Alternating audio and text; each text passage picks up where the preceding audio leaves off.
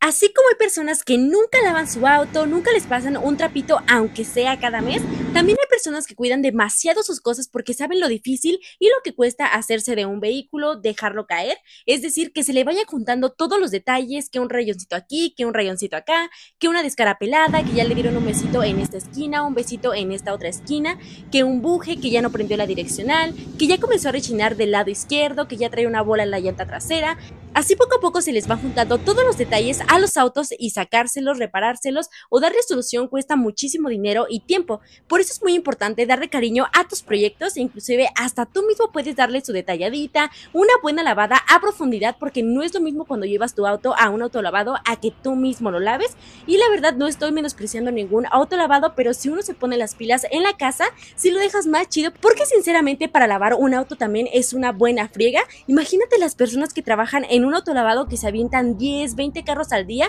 obviamente terminan súper cansados y por ende, pues les va a quedar un detallito o que les faltó limpiar aquí o que allá un poquito y pues para estos casos existe el detallado.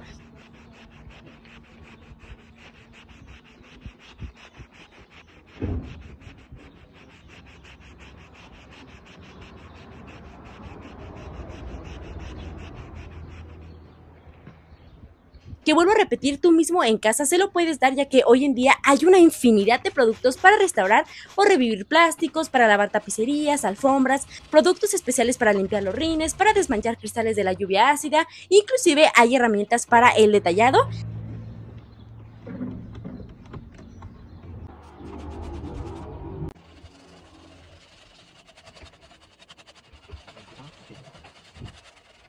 Lo único que faltan son ganas de darle cariño a tu proyecto porque como les comenté al principio, si dejas que se le junten los detalles al momento que lo quieras vender, luego la raza te le comienza a hacer peros y peros y el beneficio que obtienes al traerlo al puro llavazo es que mantienes su valor comercial, viajas más seguro y obviamente se ven re chulos los proyectos bien limpiecitos. Saludos.